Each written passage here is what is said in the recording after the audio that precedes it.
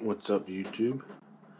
Um, so this video is basically for anyone that started a Voron 2.4 revision 1 build and then haven't finished it yet and R2 um, has been released. Um, I already had printed parts for R1 um, and then started assembly. Uh, so main thing that's crucial other than skirts, which I don't think plays a part or in anything really because it doesn't matter.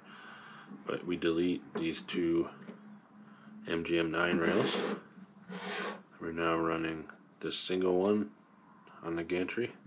And then you needed these X carriage reprinted. Those go on the 12 rail, so you need the one to fit the bigger one.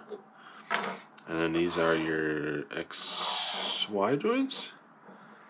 Um, four pieces there, needs reprinted. So minimum of six. And then, but I already had ordered PCBs, not realizing that this micro switch pod did not fit um, with the PCB, but revision 2, this fits both, so I needed that revision 2. And then this isn't even on revision 2, this is a Z um, end stop, but it'll fit the PCB switch.